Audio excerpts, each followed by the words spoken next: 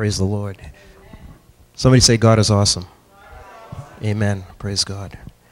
Aren't you excited to be in church? Do you know what? You could be in bed right now, sleeping in, 12 noon, snoozing away. Then you get up in the morning, have a headache from oversleeping. Then you start feeling guilty. Why didn't I go to church? I would have been blessed. Somebody say, I'm blessed being here. Amen. Praise the Lord. There's nothing like coming to the house of God. I have a few quick announcements, then we're going to have Brother Joe come forward and preach the word. Amen. Um, as you know, today um, Brother Joe is here. He's all the way from, um, from Connecticut. Amen. And him and his family here. He's come back, I believe it was May 17th of last year, uh, Sunday. And um, he came and preached the word. It was an awesome message. I don't forget what the message was. It was about really, really living in these last days for Jesus and getting very serious with God. It was a very timely message. You know, I sat there over there and taking notes and so forth, and I'll tell you what, I really believe that that is resonating today. I mean, our church, we got to get very serious with God. We really, really have to be serious with God, amen, and grow in our relationship with Him. After the after the brother uh, comes, brother Joe comes forward to preach, we're going to take up a special love offering for him. I have a special love offering box we're going to bring up, and we're going to take up an offering for him, amen. How many of us like to bless the men of God and the women of God. Amen. Praise God. Also, Bible study is here at the church on Wednesday night at 7 o'clock, so we'd encourage you to come on out. We just completed the book of James. We're doing verse by verse studies through the Bible, and it's awesome. I'm preaching, I mean, I'm preaching, I'm, I'm praying about what to go ahead and to start this coming uh, Wednesday, so we'll see what the Lord has for us. Amen. Praise. Come out to Bible study. It's a blessing. Also, Thursday morning, as Brother Ernest was saying, at 7.30 in the morning, we're here for prayer. Somebody say 7.30 morning, not night. It's in the morning, amen. So we come out and pray, amen, and uh, it's an awesome time in the Lord. And I just want to encourage you all to come on out to pray. Uh, a church that prays together stays together, amen. Praise God. And also, um, coming up Sunday, May 29th, there are five Sundays in the month of May coming up. And um, May 29th is the fifth of the five Sundays, and we will be having another guest preacher coming in, Pastor Babatunde Kanunu. Uh, he's going to be preaching the Word of God. He is the director, producer, and um, um, on the program Miracles Do Happen. And uh, that's the program that he had me on for the third time uh, last week. And um, we really appreciate him. He's an awesome man of God. He's going to come forward and bring forth the word. Looking forward to that. Right after the service concludes today, we're having an awesome fellowship dinner. And uh, we'd like you all to stay and grab a bite to eat with us, have some food and fellowship, and that's always an awesome thing. Somebody say glory. Also, we have some invitations back there, and these are, it's, there's little cards in their, um, the three by five cards, and it says, You are cordially invited to Changing Lives Christian Church. And it gives the address, and uh, this coming Sunday at 11 a.m. to join us for worship. And uh, so I just want to encourage you all to take some of these cards, give them to people, and to invite them to church. And you say, Well, Pastor, I've been doing that, but that's okay, and that's fine. But if you bring the cards, I find if you have something tangible, you're going to have these on your bureau in your bedroom and say, Oh, that's right, I want to invite so and so to church. Let me take one of these with me to work. And that is the thing that will go ahead and have you bring people to church. Amen? Because we want to have these pews filled with people, thirsty and hungry for God. The Bible says, make disciples. A disciple is somebody who learns the things of God after they receive Christ as the Lord and Savior. Eh, how many know it's a continuous relationship, a continuous learning in the Lord? Amen? We're learners of the Word of God. Praise God. So that's awesome. So we're going to have at this time, give the Lord a hand as Brother Joe comes forward. Amen. He's going to bring forward the Word for us. Amen. Praise God. There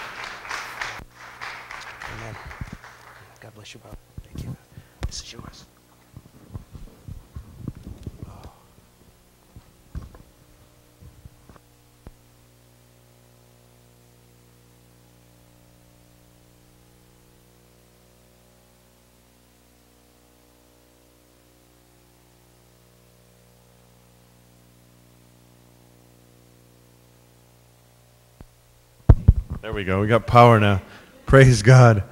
Traveling this morning with my wife Melissa, our two sons Tyler and Seth. Glad they're with us, and um, want to bring you bring greetings this morning from our home church in uh, Connecticut, Potter's House Church of God in Bishop Spada. And um, if you'll uh, turn me to the book of Psalms, chapter 49, I want to get right into the message this morning.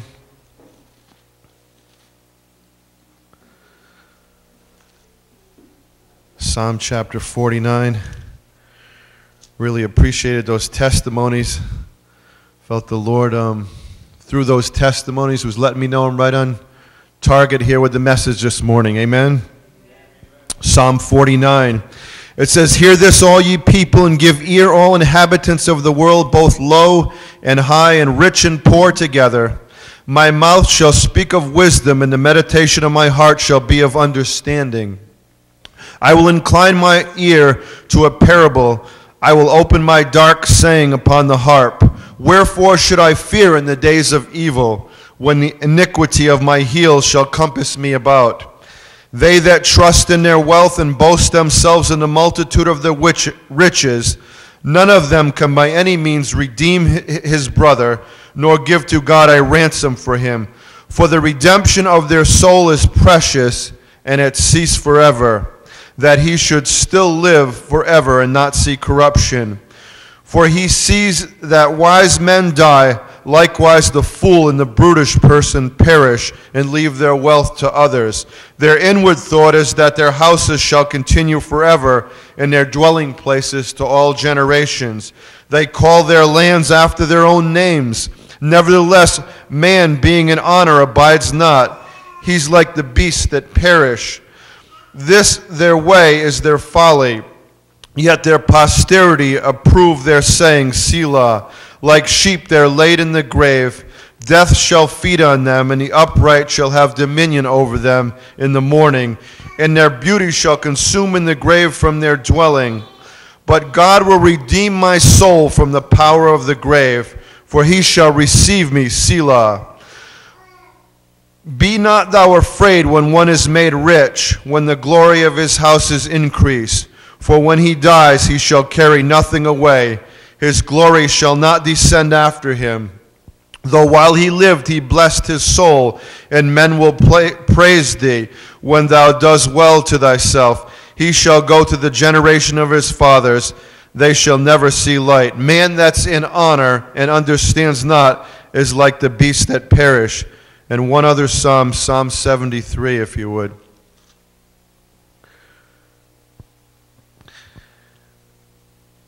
Truly, God is good to Israel, even to such of a clean heart.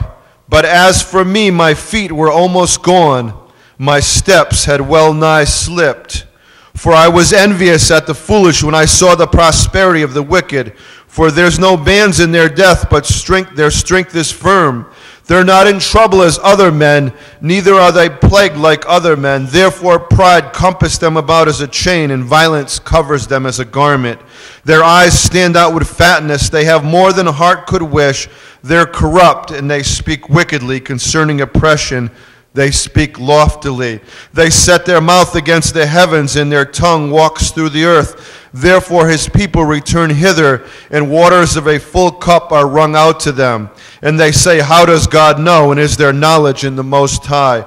Behold, these are the ungodly who prosper in the world, they increase in riches. Truly, I have cleansed my heart in vain and washed my hands in innocency. For all the day long I've been plagued and chastened every morning. If I say I will speak thus, behold, I should have offend against the generation of thy children. When I thought to know this, it was too painful to, for me until I went into the sanctuary of God. Then I understood their end. Surely you did set them in slippery places, you cast them down to destruction. How are they brought into desolation as in a moment? They're utterly consumed with terrors. As a dream when one awakes, so, O Lord, when you awake, you shall despise their image. If you'll bow your heads with me, we'll pray for the preaching of the Word of God. Father God, we thank you, Lord, for this opportunity, Lord, to come into your house, Lord, and to gather in your name, Lord, and to be in the midst of your people, Lord, and to preach the word of God this morning, Lord. We pray, Lord, for an open heaven in this place, God. God, we would ask that the word of God would be relevant this morning, oh God. We pray that it would be revolutionary, God, that it would be life changing, oh God, that the word would go forth as a mighty oracle from heaven, God, and accomplish the purpose thereinto it would be sent, God. God, we we pray that every ear would be open to hear what the Spirit would say to the church this morning, and every mind would understand the scriptures this day, oh God. Let every heart be sensitive to the things of God this morning, Lord. We pray that you would bless the remainder of this service with your presence, oh God, with your anointing, God. We pray it in the mighty name of Jesus. Here we have two psalmists that had, had, had experienced life to some degree. And, you know, we heard the testimonies this morning of two brothers in this church who had gone through similar things as the, as the psalmist. The one psalmist in chapter 49, he had come to the place where his life was almost over, and these two brothers had testified. One almost lost his life falling off a ladder, and another one almost got into a terrible car accident. In a moment's time, it could have all been over. The psalmist says, Teach me to number my days, that I might apply my heart unto wisdom. The Bible says that our life is but a vapor, it appears just for a little while, and then it vanishes away the, ver- the very best of us, the psalmist says that, you know, the life expectancy of most men is, is 70 years old. The Bible says, if by reason of strength you live to be 80, you're doing very well. But most people, I was looking forth in, in, in, uh, in the internet just recently, and I was looking forth the, the life expectancies of certain nations. And the highest life expectancy is in the nation of Japan. I think they got up to about 84 years old. But there's other countries, even in Africa, that the life expectancy is, is even under 50 years old for people. Life is short, my friends. And the psalmist is seeing, and the psalmist in Psalm 73, he said that my foot, you know, that, that, that I, I almost nigh slipped. You know, I, when I saw the prosperity of the wicked, when I, when I saw that there was no, there was no bands in their, in, in, in their death, you know, it seemed like they had everything that heart could desire. It seemed like everything was going well for them. He said, until I went into the sanctuary of God, until I went into the sanctuary of God and I began to meditate upon what was really taking place. He said, I understood their end, that there, there's going to be a hereafter one day, that all is going to come out in the wash. It's not all, it's not all as it seems to be. You know, we, we could think many thoughts in our mind, and we could take our minds in different places. And if we take ourselves to the place that the psalmist took himself in Psalm 73, our foot is begin, going to begin to slip. You know, this, this life is, as a Christian, it's filled with kingdom priorities. And that's what our message is about this morning kingdom priorities. I think as a young man, I, I haven't served Christ my whole life. I've been serving Christ for about half a lifetime now. I'll be 58 in July, and I, I didn't start serving the Lord Jesus Christ till age 29.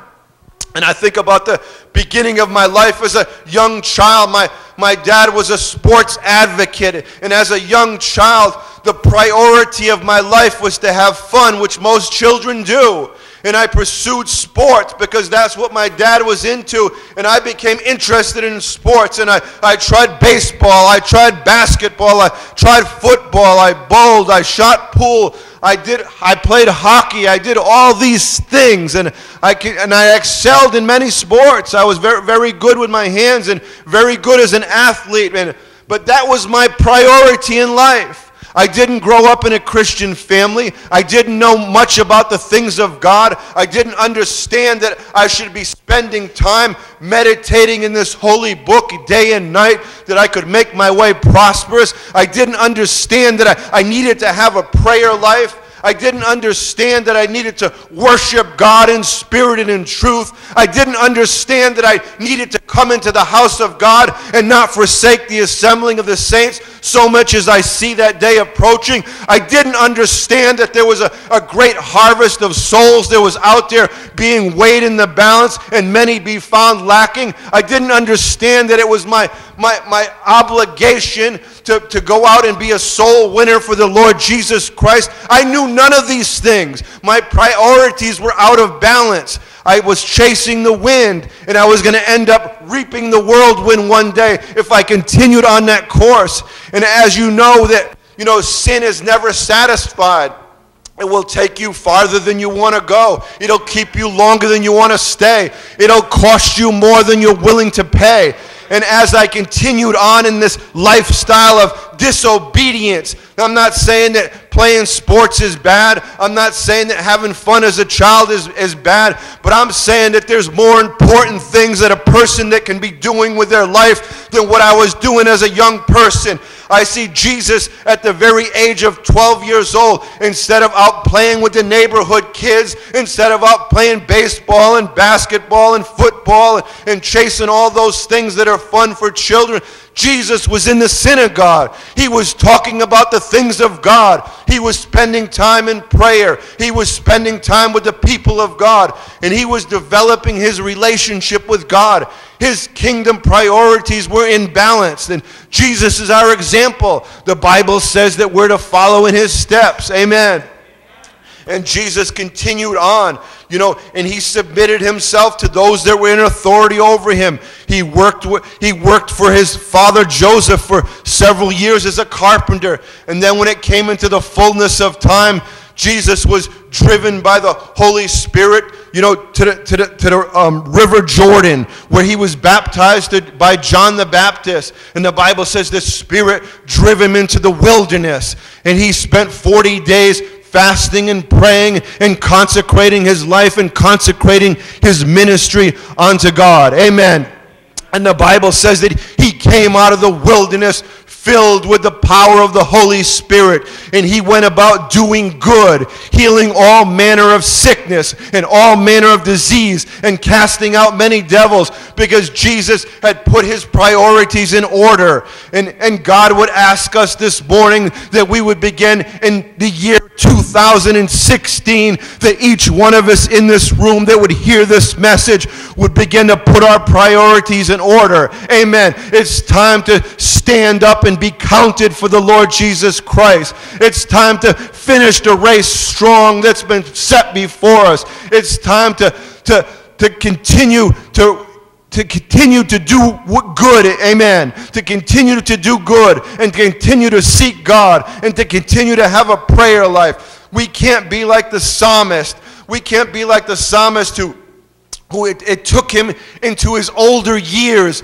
And, he finally was figuring things out in his older years. And he began to meditate. And, and he said, it, it doesn't even matter if I'm sick as an old man anymore. It really doesn't even matter if I'm sick. I don't need to be concerned about these things. I need to understand what it says in Matthew chapter 6. Amen the Bible says that, that consider the lilies. Amen. They don't toil, they don't spin. But even Solomon, in all of his glory and all of his power, he wasn't arrayed like one of these. Not even a little sparrow can fall to the ground and die without the Father's permission. You can't, by worry, add even one inch to your statue. All these things, the scripture says, do the Gentiles seek after. They're concerned about what they should eat. They're concerned about what they should drink. They're concerned about their clothes. They're concerned about their homes. They're concerned about their jobs. But the Bible says to seek ye first the kingdom of God and his righteousness, and all these things will be added unto you. If you give God your very best, my friend, he will give you his very best. But you got to do what the scripture says. Amen. You got to become a seeker of the face of God. Amen. Many people seek his hand in these last days. They come to God when they need something. They come to God when they, they need a handout. Amen. But God wants more than that from you, my friends. He wants a greater relationship than you just seeking his hand. He wants you to seek his face. Amen. God wants intimacy with his people. How many knows that there's certain things that God requires from us? If you're going to live a life of priority, through, through the things of, of God and the, and the kingdom of God, there's certain things that God requires from you. Micah says, He has showed thee, O man, what is good and what the Lord requires of thee but to do justly and to love mercy and to walk humbly with your God. Amen. These are things that God requires from us. We can look back in the book of Deuteronomy, and it says that God requires of us that we would love Him, that we would serve Him, that we would fear Him, that we would keep His commandments, that we would walk in His ways. Amen. There's two great commandments that, that hang all the law and all the prophets, that we would love God with all of our heart, all of our soul, all of our mind, all of our strength, and we would love our neighbor as we love ourselves. Amen. On, on these two commandments hang all of the law and hang all of the prophets. You know, we don't hear much about living a holy life in 2016. But in the book of Romans, it says, I beseech you, brethren, by the mercies of God, that you present your body as a living sacrifice, holy and acceptable unto God, which is your reasonable service. And be not conformed to the image of this world, but be transformed by the renewing of your mind that you might prove what is that good and that perfect and acceptable will of God. Notice that he, he says that he's beseeching them, he's urging them that they present their body as a living sacrifice.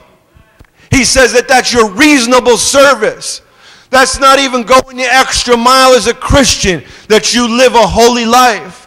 The scripture says to be holy, for he's holy. And without holiness, no man shall see God. In the book of Romans, chapter 6, it says, Shall we continue in sin that grace may abound? God forbid. How shall we that are dead to sin live any longer therein? We got to understand that God requires something from us, my friends. God's requiring a disciplined life. God's re- acquiring the very best that you have. Amen. I think of as an, as an unbeliever, you know, it didn't just stop with, with, with me with, with, with sports and, and, and living a life of, of folly as a child.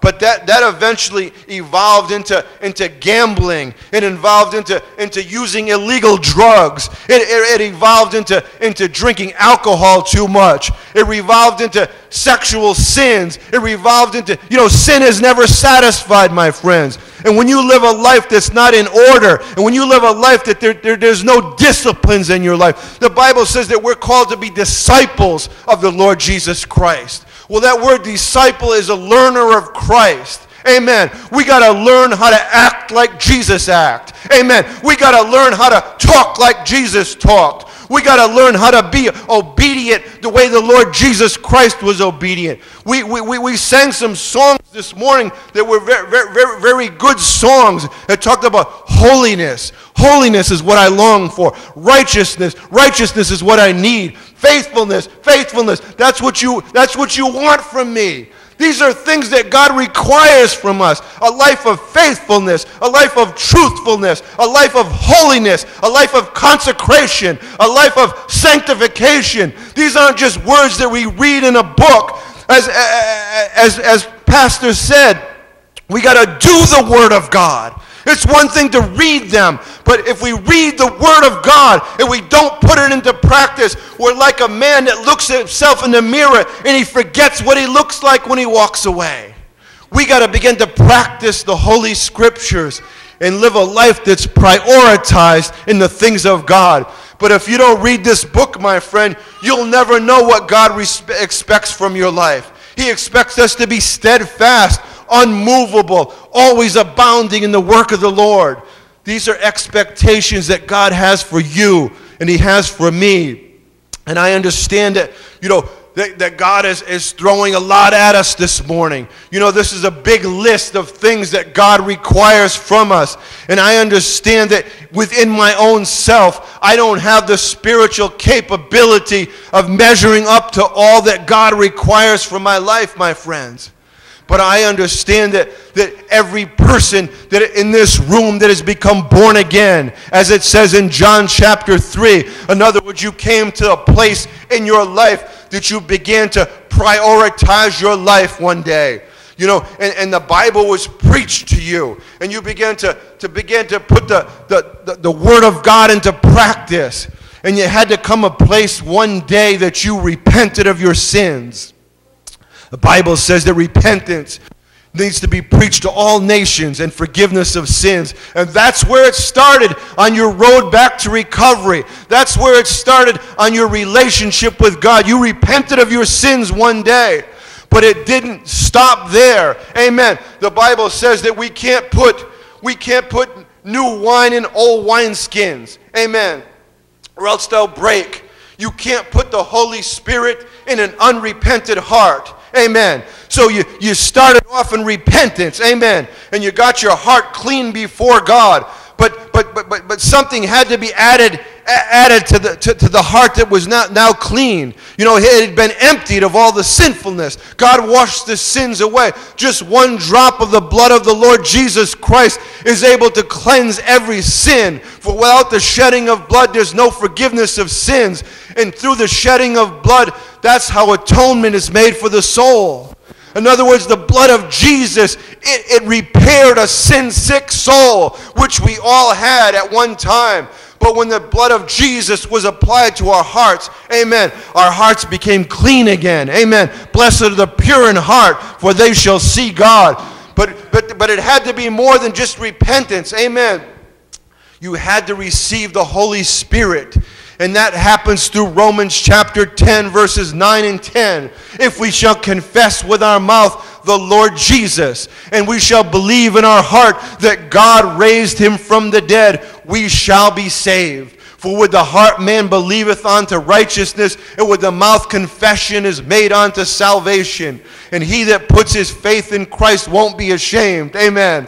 So we put our faith in Christ. Amen. And we asked Him to be the Lord over all the kingdoms of our heart. And we confessed Him as our Lord and Savior. And we, we, we confessed Him as Lord.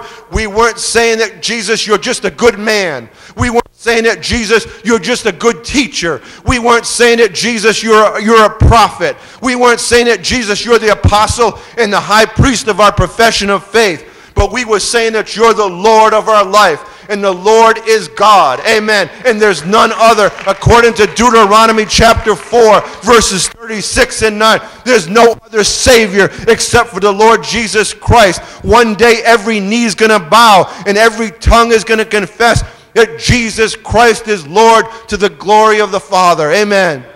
When you confessed Him as your Lord and Savior, you're saying, Jesus, I want you to be the God of my life. And when you're believing in your heart that God raised him from the dead, you're believing that once, once they placed him in the tomb, that he didn't stay dead in the tomb like an ordinary man. His bones didn't rot and decay, and his skin rot and decay, but Jesus rose again from the dead the third day according to the Holy Scriptures, and he's alive forevermore. He was seen by over 500 eyewitnesses. Amen. After his resurrection from the dead, he came and he breathed on the he breathed the Holy Spirit upon the disciples and started the early church. And the early church went about doing good. They went about doing the commandments of the Lord Jesus Christ. Jesus told them to go ye throughout all the world and preach the gospel to every creature and baptizing in them in the name of the Father, the Son, and the Holy Ghost, teaching them to observe and do all things that God had commanded. These, these are kingdom principles, my friends. These are kingdom priorities that you put your faith in Christ, that you repent of your sins, that you become born again. Amen. But it doesn't stop there, my friends. It's not just a one, one and done thing. This is a daily walk with the Lord Jesus Christ. I can't do it, but He can do it, my friends. I can't measure up to what I need to be as a man of God, but He can do it through me. I can do nothing without Him, it says in John chapter 15 but I can do all things through Christ who strengthens me.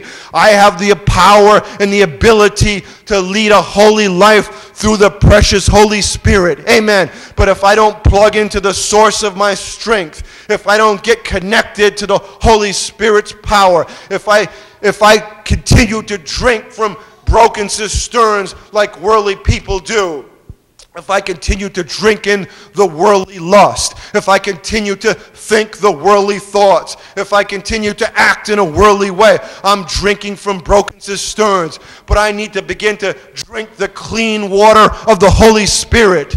Jesus put it this way. Many of his disciples quit following when he made this statement. He says, You must eat of my flesh and you must drink of my blood. He was telling them that I'm your very sustenance of life. If you don't have me in your life, if you don't continue to, to feed from me, feed from my word, and drink in my spirit, you have no spiritual life within your own self. We need to realize what Paul realized in Romans chapter 7 when he said, Oh, wretched man that I am, who's going to deliver me from this body of sin?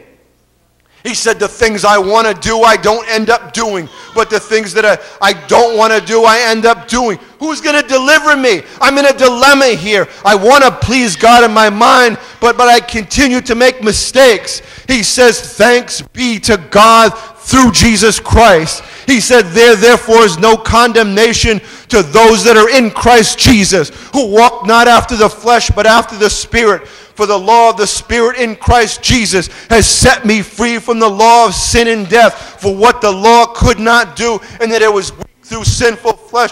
God sending his own Son in the likeness of sinful flesh. He condemned sin in the flesh that we could live a holy life through the Holy Spirit. Amen.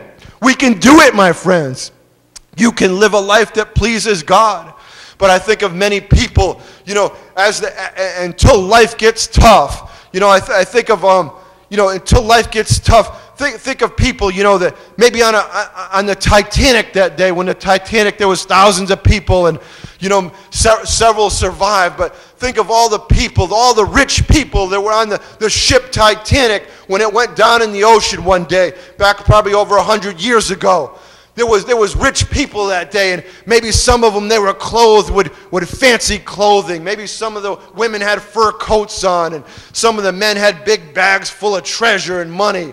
And I think of as that ship went to go down, I'm sure that they began to strip off those things that were going to them from being saved. Those, those heavy fur coats came off. Those bags of money got cast aside. They only wanted to have what they needed to be saved. And that's what you need to understand as a Christian, my friend. You need to understand kingdom priorities. You need to understand that this life is but a vapor. It appears for a little while, it vanishes away. Our brothers, they, they testified that their lives could have been snuffed out even, even recently or even years ago. Our brothers, what is it, about 19 years ago that happened to you? He might not have been here.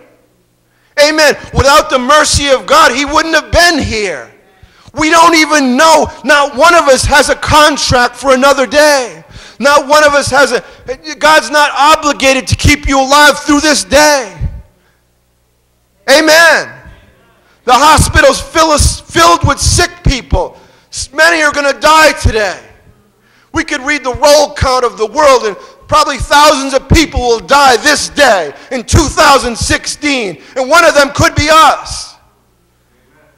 It makes just good sense to live for God. Amen.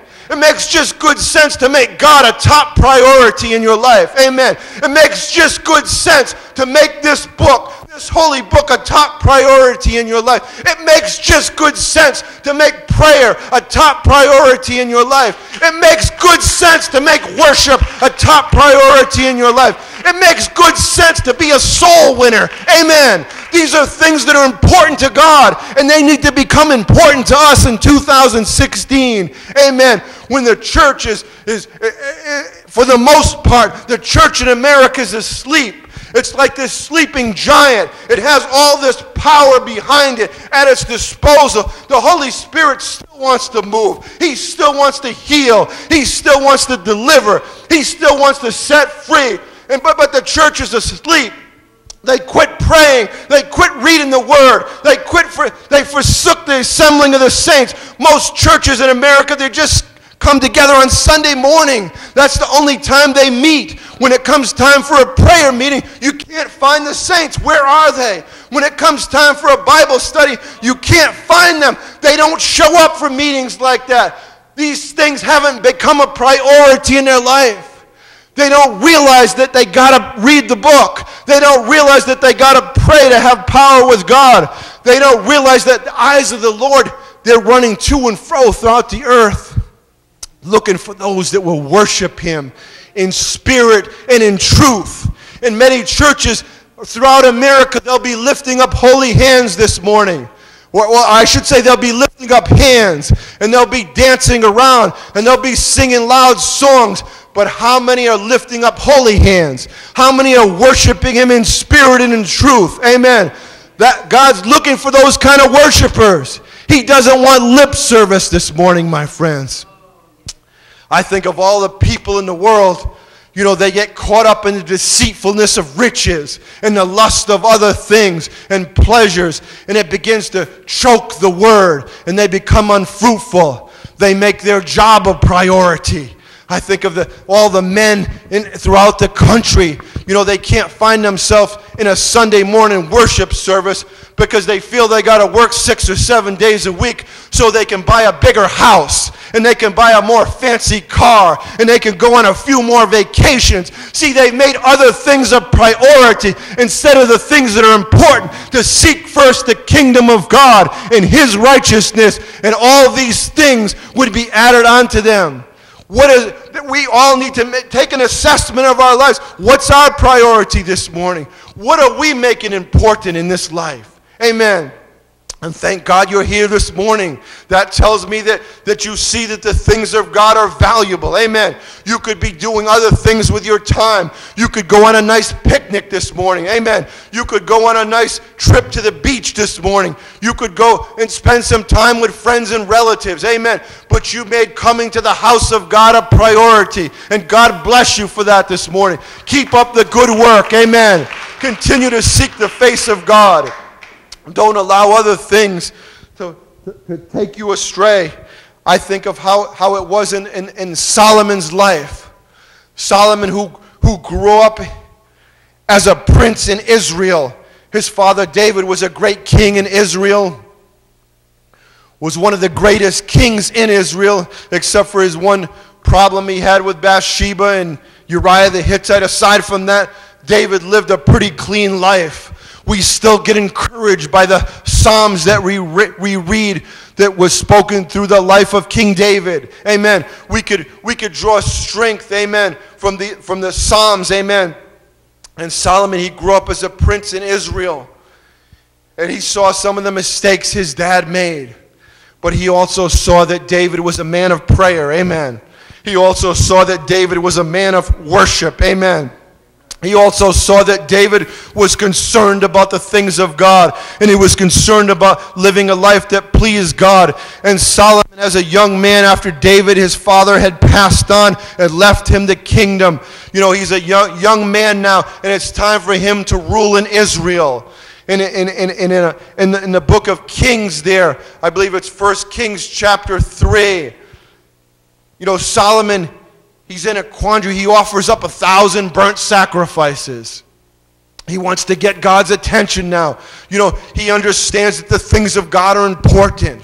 And the Bible says that God shows up in a dream and tells Solomon, Ask what you wish. Ask what you wish. How many would like God to show up like that in their life today? You know, ask what you wish, brother so and so. Ask what you wish, sister so and so. You got God's attention now. And Solomon's got his attention. And instead of asking for a long life, amen, or instead of asking for the life of his enemies, amen, or instead of asking for influence and power and wealth and all these other things he could have asked for.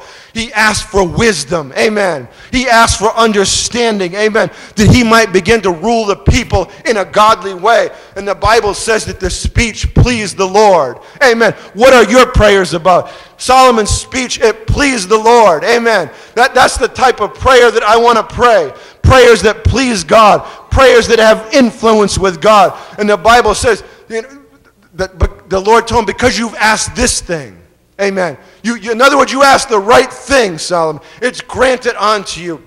And he became the wisest king that ever was, aside from the Lord Jesus Christ. And he says, because you asked this thing and you haven't asked the life of your enemies. You haven't asked for long life. You haven't asked for, for honor and all these other things that you could have asked for. I'm going to even grant those to you. Amen. He became the richest king that ever was. Amen. He became the, the, the wisest king that ever was. And the Bible says that, you know, that Solomon, that he married so many women. He, he married 700 princesses. And he had 300 concubines. He had a thousand women that were part of his harem, you could say. And the Bible says that, you know, his, his, his wives, because he married several women from different countries, they, they, they turned his heart astray. And Solomon, in, in his younger years, he began to seek wisdom.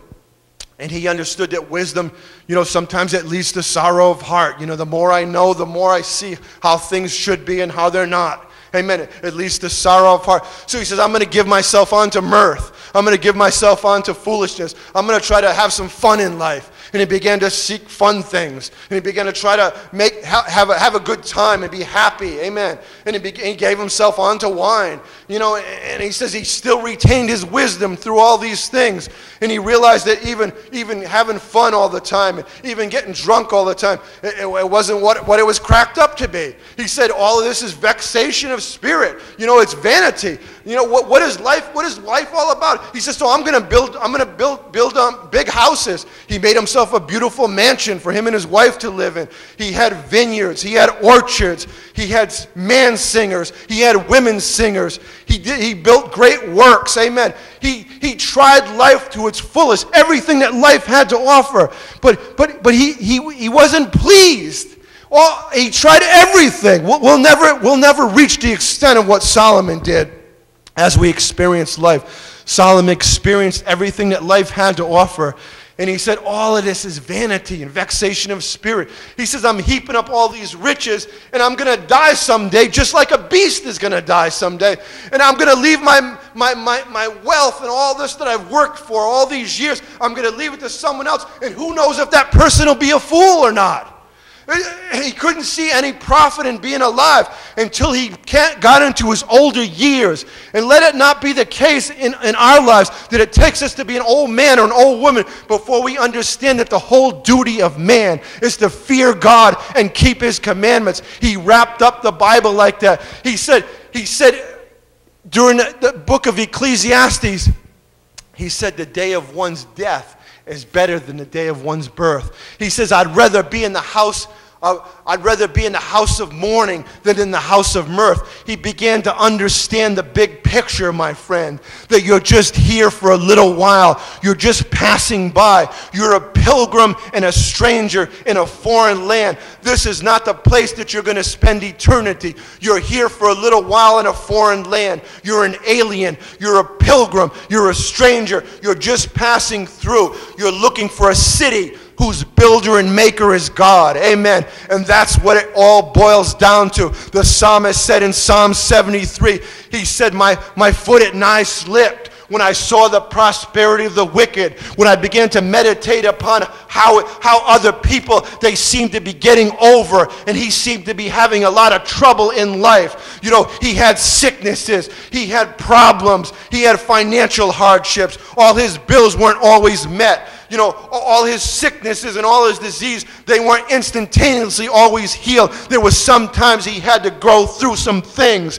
And he realized, he realized as he continued on as a Christian, he said, when I went into the sanctuary of God, that's when I began to understand that it's all going to come out in the wash one day. Amen if I continue to keep my priorities in order and I continue to serve God, that one day I'm going to sit down at a table. Amen. The marriage, wedding supper of the Lamb. I'm going to sit down with Jesus. Amen. I'm going to sit down with the prophets. I'm going to sit down with the apostles. I'm going to sit down with the patriarchs and the matriarchs, all the people that serve God. This great cloud of witnesses that has gone before me. I'm going to sit down and I'm going to enjoy a feast with my king. And I'm going to enter into eternity. Amen. A place where there's no more tears, there's no more sorrow, there's no more pain, there's no more suffering, there's no more death. The former things are going to pass away. He's going to make all things new. Amen. He's the Alpha and the Omega. He's the beginning and the ending. He's the first and the last. He's the bright and morning star. He's the lily of the valley. He's the fairest among 10,000. He's the King of kings. He's the Lord of lords.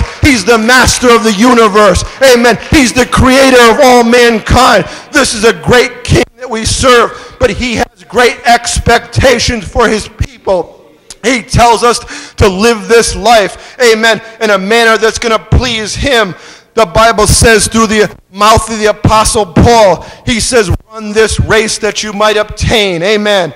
I think of a road race. Many people set out in marathon road races the Boston Marathon, the Hartford Marathon, the New York Marathon. Thousands line up at the beginning of the race, thousands and thousands of people and, and only one wins first prize. Amen. Thousands start out, but one wins first prize. He says, I want you to run this race of life that you might be the victor. Amen. That you might win first prize. Amen. In other words, give it all you got. Amen. In this life. Don't be discouraged when things don't go the way that you want them to go because things aren't always going to go the way that you want them to go in this life. We're fighting a mad devil, we're fighting demon spirits. We have a, a sinful nature to contend with. Amen. There's a lot of opposition. Amen. We have a we have an outer man that's perishing, a, a, temporary dwelling place that we live in. These bodies aren't made to last forever. Amen. We're going to get sick one day and die if Jesus doesn't come in our lifetime something is going to happen and we're going to leave this life one way or the other. Amen. But the most important thing is what you do with the Lord Jesus Christ. Seek ye first the kingdom of God and his righteousness, and all these things would be added unto you. I think of, in closing, I think of two women who love Jesus. One was the name of Mary, and one was the name of Martha. They were the two sisters of Lazarus, who Jesus had risen from the dead after four days being planted in the tomb. Jesus came by and called Lazarus forth. And one day that Jesus was coming through their village, and Martha invited Jesus to come over and have a meal. Amen. There was many people in the household, I'm sure, at the time because Jesus had great companies of people following him, and they all entered into Martha and Mary's house. And Martha began to get busy about making preparation to feed all those people. Amen. How many know that women, you know, they really um, you know, that are homemakers, it's a big deal to make a good meal for a bunch of people, especially people you love and care about. And Martha was making a big deal over that meal that day. And she was slaving over the stove, amen. And she was working hard over the oven. And her sister Mary is in the other room. Jesus is preaching and teaching the Word of God. And, and Sister Mary, instead of slaving over that stove and slaving over that hot oven, she's sitting at the feet of Jesus. Amen. And Martha begins to get perturbed with her sister and says to the Lord, You can't you bid my sister to come and help me? Can't you see I'm slaving here to, you know, can't you see that I'm slaving over this hot stove? You know, I'm really trying to make preparations here, you know, to, to, to paraphrase what was taking place there. And uh, she, she, she said, um, he, he told her that one thing is needful. One thing is needful. And Mary's chosen the right thing.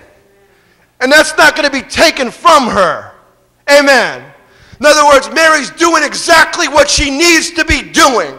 She's sitting at my feet. She's learning from me. And that's what we need to understand as the people of God. Amen. That one thing is needful. Amen. It's not about building bigger houses. It's not about driving a fancier car. It's not about having a nicer wardrobe. It's not about having a bigger job or a bigger bank account or a bigger 401k or climbing to the corporate ladder. Amen. It's about sitting at the feet of Jesus and learning from Him and putting into practice, amen, what you learn at His feet. Amen. God wants us to do it. Amen. Are you willing to live for Jesus? Are you willing to make the Lord Jesus Christ a top priority in 2016, regardless of what you're up against, regardless of the problems, regardless of the situations of life? Will you make Jesus a priority? If you'll seek first Him and His kingdom, all these things will be added unto you. He'll meet all your needs. My God shall supply all of your needs according to his riches and glory by Christ Jesus. And maybe some of you are sick this morning. And, uh, you know, myself, I haven't been feeling good for, for over a month now. You know, I've been sick for a while. You know, and some sicknesses are unto death. But don't, try, don't, don't be fearful. Don't be anxious. Don't be concerned. You know, consider the lilies. Consider the sparrows, that not even a sparrow, a little bird, can die without the Father's permission. We can't worry about things we have no control over. Let God be the Lord over all the kingdoms of our lives. Amen. Amen. And He'll bless your life. Make Him a priority in 2016, and God will bless your life. Our sister talked about you know, God being able to bless. He's more than enough. He's got more than enough provision for you and for me. He's Jehovah Jireh this morning. You need him to be a provider. He's Jehovah Rapha. Do you need him to be a healer? Amen. He's Jehovah Shalom. Do you need peace in your life? Amen. He's what he's Jehovah Tsidkenu. Do you need righteousness in your life? He's called the I am. Whatever you need Christ to be, he'll be for you, my friend, if you'll make him a top priority. Amen. Praise God. Pastor Craig. Let's give the Lord a hand. Amen. Praise God. Amen. Praise the Lord. Praise God. Amen. Thank you, Brother Joe, for bringing forth the word. Praise God. I don't know about you, church, but that ministered to me. Amen. And uh, I got convicted. How about you? You know, conviction's a good thing. It's not condemnation, it's conviction. Conviction to the Holy Spirit. And it encourages us to change and to have a closer relationship with Jesus. Because I'll tell you what, at the end of the day, it's all about Jesus.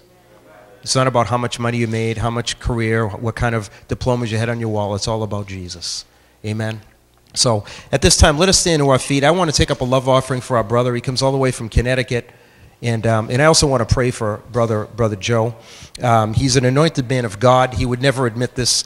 Him, I mean, I believe he would admit he's anointed, but he's a humble man of God. He brings forth the word. He's an awesome preacher of the word of God. I mean, he's more than Daystar quality as far as I'm concerned on TV. Amen. How many know that, praise God, we, we, um, we, we have to be praying for one another in the body of Christ? Satan would love to stop Brother Joe from preaching, but I believe he's got a lot more, a lot more years for God to use them. How about you? Amen. So let's pray. Father, in Jesus' name right now, First and foremost, we lift up Brother Joe to you. I pray, Lord God, he hasn't been feeling well for a month, but God, you are the God of healing. Lord, you have created his body. You have made every single cell in his body. So, Lord, I pray right now, from the top of his head to the bottom of his feet, to be 100% healed. I pray against this air infirmity in the name of Jesus to be gone. In the name of Jesus, right now, Lord God. We come against every disease, and in Jesus' name, we pray healing upon his body right now. I pray in Jesus' name, you continue to anoint him to preach your word. In Jesus' name, Lord God, have your perfect way and will in his life. We thank you for your word today. We thank you, Lord God, that we have to have our kingdom priorities in order. We thank you and praise your mighty name, Lord, that we're going to continue to serve you with all of our heart, soul, mind, body, and strength. We thank you, we praise you, Lord God, that this temporary life is nothing, but we need to seek ye first the kingdom of God in his righteousness.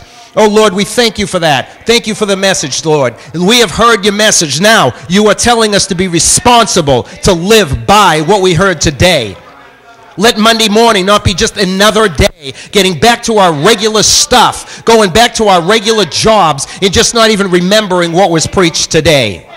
Let it penetrate our soul, penetrate our heart, penetrate our spirit. Let it be so much in our thoughts that it would change our actions in our lives, that it would change our habits in our lives, that it would make our decisions change based upon you. I pray Jesus' name that you just have your perfect way, well, Lord God, in every one of our hearts, in every one of our lives in this church. Hi, I'm Craig Matheson, pastor of Changing Lives Christian Church here in Haverhill, Massachusetts. Just for a couple of minutes, I'd just like to offer you a couple of free booklets. Being that you're viewing us today, we just want to tell you we really appreciate you. We thank you for watching our services on tele community television and on YouTube, as well as through the internet through our website. The first booklet I wrote just a little while ago is called Are You Going to Heaven When You Die? This booklet explains the plan of salvation. It explains what the Bible says concerning having a personal relationship with God through Jesus Christ.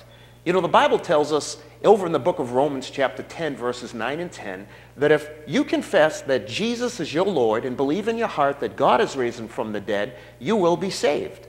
The Bible tells us and encourages us to have that personal relationship with God. In fact, there's no way that we can get to heaven after we die without having a personal relationship with God through Jesus Christ. The second thing is, after we have that, after we receive Jesus as our Lord and Savior, and we have that personal relationship with God, obviously we have to go ahead and cultivate that relationship. How do we do that? One of the very things that is very, very important is attending a local church. I wrote a second booklet called Why Should I Go to Church? And I'd like to send you these two free booklets, postage paid. We're not going to put you on a mailing list or anything like that. We just want to simply get these booklets into your hands to be a blessing to you, being that you're viewing us here on television. You know, the whole purpose of Changing Lives Christian Church is to go ahead and preach the gospel to every creature, as the Bible says. To let everybody know about the good news about God, the good news about the plan of salvation, the good news about receiving Jesus as your personal Lord and Savior. Many people in the day we live in are looking for a purpose. What is the purpose in life? How come I get this empty feeling deep down within my soul? How come I, give, I can't seem to have that joy that I've always longed to have? The only way we're going to have that is to have a personal relationship with Jesus Christ. And so I just want to give you some that good news, and I want to offer you these two free booklets that I've written, postage paid. We feel led of the Lord to do this at this particular time in our ministry. And you can request these booklets three different ways. Number one, you can either send us a letter, Changing Lives Christian Church, 17 Newcomb Street, Haverhill, Massachusetts. The zip code here is 01830. Or you can email us, very simply, at info at changinglivechristianchurch.com. Or you can just give us a call at 978 373 7373. And if you get the voicemail, just leave your name and address, and we'll be sure that we send these booklets out to you as soon as possible. Are you going to heaven when you die? A challenging question. And this is a booklet, How to Get to Heaven According to the Word of God, according to the Bible. Secondly, Why Should I Go to Church? May God bless you, and I pray that you have a fantastic day.